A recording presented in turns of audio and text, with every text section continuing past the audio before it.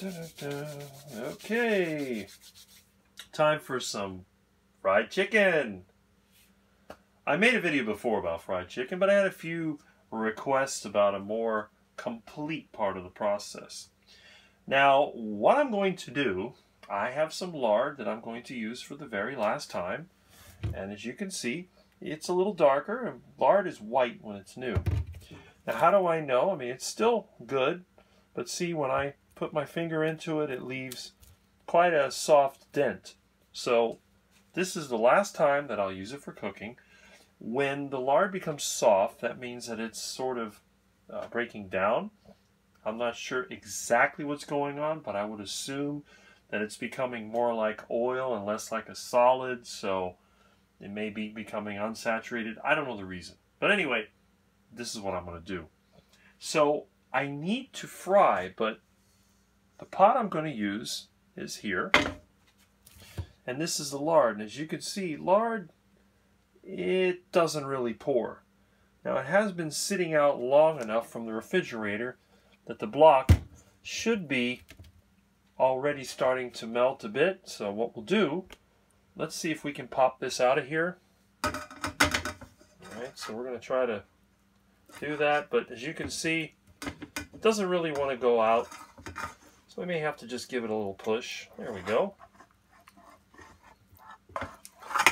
And that's it. So the lard is now ready to go into the pot and be turned into a cooking fat. Now obviously you can't deep fry something in a solid material. That's not the way it works. As you can see, I've gotten most of it out of there. I mean, there may be a little bit that stays in the pan, but it doesn't matter. Actually, this is a bowl. And you'll notice, I've had a few comments on this, the bowls that I use, like everything else, they tend to be metal, glass, or ceramic. I don't use plastic bowls to hold food. The only thing I use plastic containers for is like when I change the oil in my car or truck, or for some reason, um, you know, putting some plant material away, I may use a plastic container. But generally, for what I use, what I eat, it's always metal. So now, what we're going to do, we're going to put the fire on. We have plenty of gas, so I guess the gas production is back. As you can see, the fire is in the back. Once in a while, you get like impurities in the gas. You get those little yellow flames, but that's okay. You want to make sure, though, that your backflow preventer is working because if for some reason you have a drop in pressure and, you know, maybe you have a little accident, the flame could go back to your digester and basically blow things up.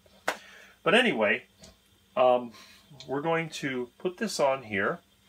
And as you can see, it's already starting to melt.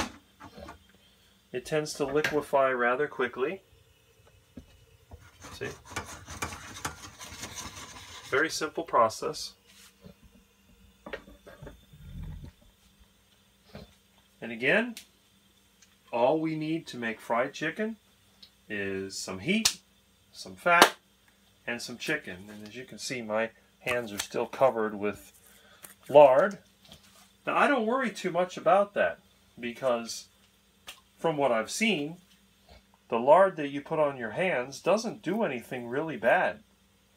I was told many times that you would get acne or something like that from all that fat, but it doesn't seem to hurt anything. In fact, I actually use lard, for example, if I'm working on my car working on the roof, it helps prevent the grease that you get from the engine from sticking in your fingernails.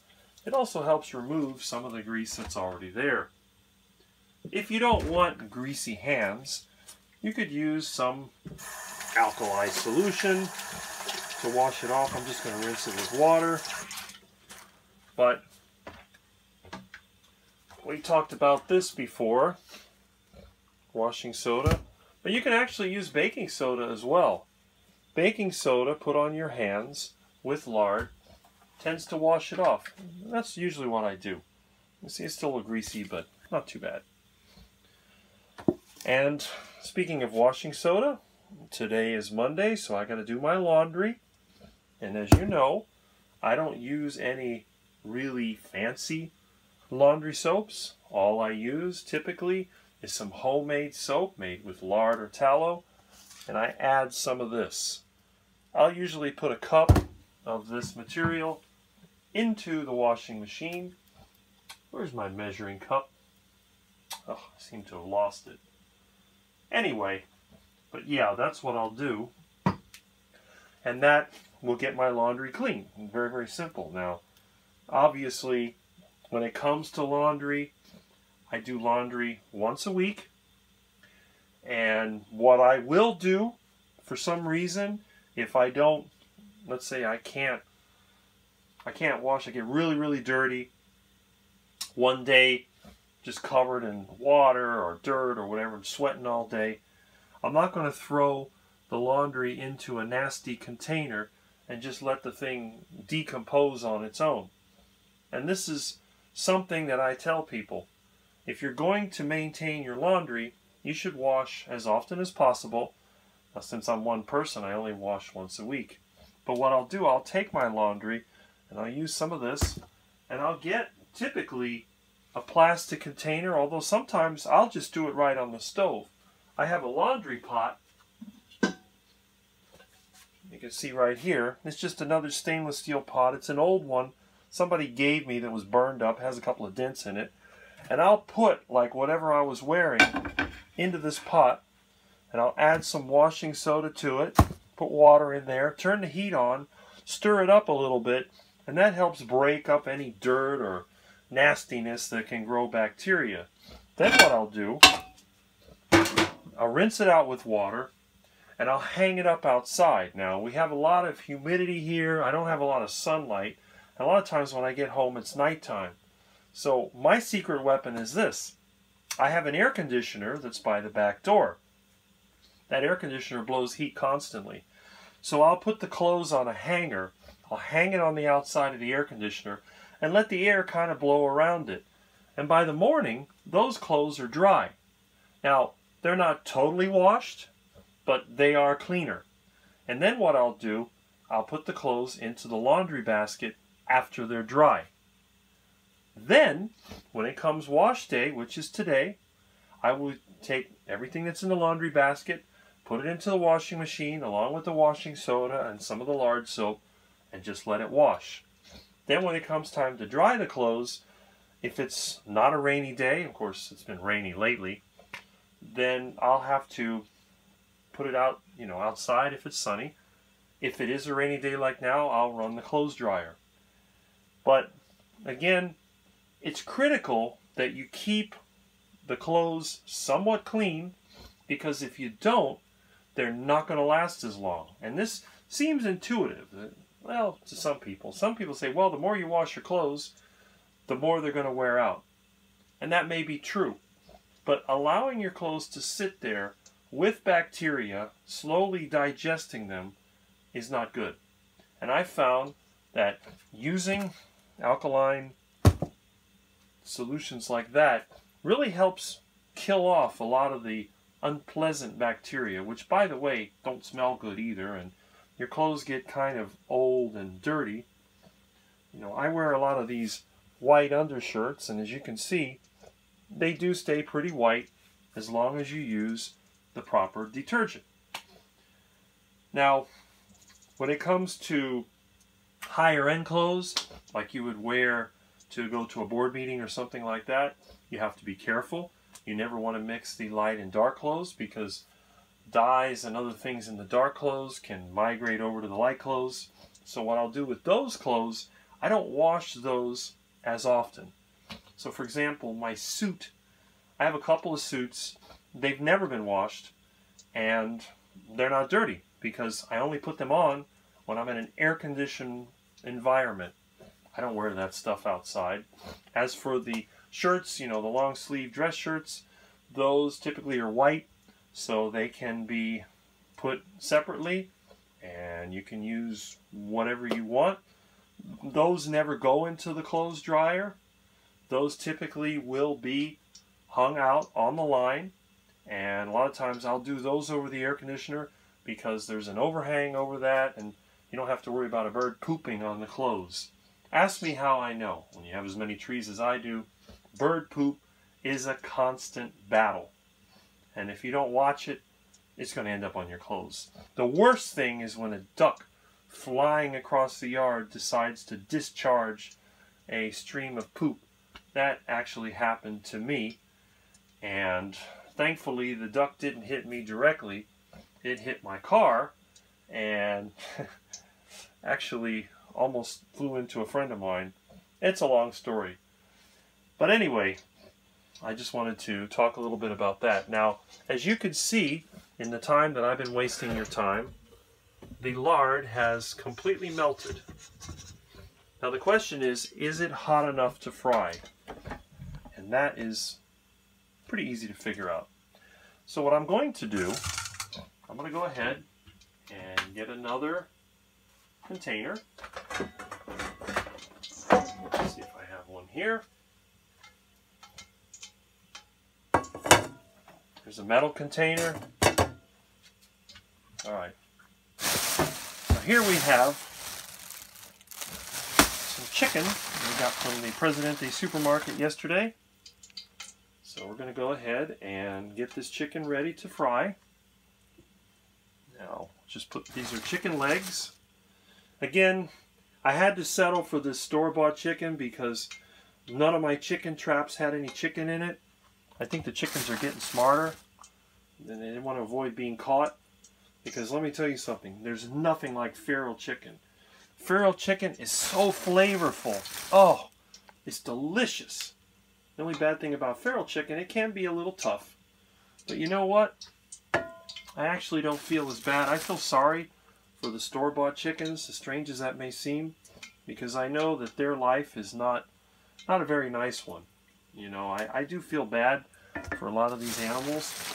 So if I could do my part, now if the stupid county didn't ban it, if it wasn't illegal with a $500 fine, I would have my own little flock of chickens.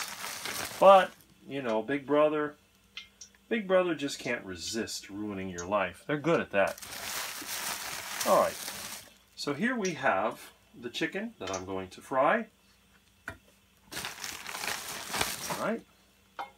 Now again, the chicken often comes with the skin pulled back. I like to stretch it out so that it's going to cover it up a little bit. It looks a little better. The skin of the chicken is actually extremely flavorful. Even though I don't really eat bacon, this would be sort of my version of bacon. All right. Now that's enough chicken to have a you know somewhat nice lunch. I bought a 10 pound bag for $5.80. I ate half of the bag yesterday. Now I'm going to eat the other half today. So again, you can hear the oil starting to sizzle. Well, it's not really oil, it's actually lard. But we don't have to tell anybody that. So to know when it's ready, we're going to do a little test. But before we do that, I left out one of the most important things about stovetop frying. You need a grate. And this is going to keep the chicken from sticking to the bottom of the pan. Otherwise, remember, the fire is down here. So this is the hottest part. And then convection brings the heat up through the fat. Well, you need to put this down here to prevent sticking. If you put it like this, it'll raise it up higher, but then your chicken's not going to get enough lard. So I'm going to turn it upside down, leave these sticking up, drop that in there. Now, let's see if it's ready. Now, there's a couple of drops of water. You can hear that popping. So we're going to go ahead and put the chicken in here. It's starting to sizzle, so that means it's ready. And then what I'm going to do, I'm just going to put as much chicken as will fit in there and let it start cooking. Now, I don't think I'll be able to fit all of it in there, nor would I want to. So what I'll do, I'll just put in what I can. And then I will use the tongs because I don't want to put my fingers into hot lard, although I'm sure any of you vegans that are watching would laugh if I happen to burn myself. So anyway, we'll go ahead and we'll stir up the chicken. It's starting to sizzle. All right. And that's really it. So, the chicken is sizzling. We're going to let that do its thing. Oh, I'm out of sardines. Great. Oh well. Hmm. I don't know. Well, I have one sketchy looking sardine can left. A lot of times when I eat chicken, I like to have sardines along with it. As strange as that may seem. There's nothing like chicken and sardines. So what I'll do, I'll just let this chicken do its cooking, and then I'll come back and it'll be time to enjoy tasty, crunchy, fried chicken. No seed oils, just extremely unhealthy, heart attack inducing lard. And by the way, since this has been sitting here, you can see that the rest of the lard has sort of melted, so we can just dump that in there if we want. It's probably not necessary, there's plenty of lard. After I'm done with this chicken, what I'm going to do is take the lard and I'm going to put it back into a container and I'm going to use it as a hand cleaner. Now, I need to do some roof repairs. My roof is a disaster here. So i will have to show you in a future video of how I use lard, believe it or not, to clean my hands from asphalt roof cement. Anyway, that's it for now. So I'll see you next time.